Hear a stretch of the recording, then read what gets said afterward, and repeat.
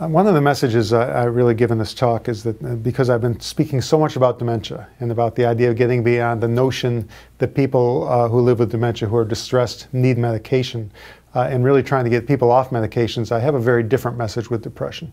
Depression is a clinical illness that has very serious potential consequences. Uh, it increases mortality in a, in a, variety of conditions, particularly in older people.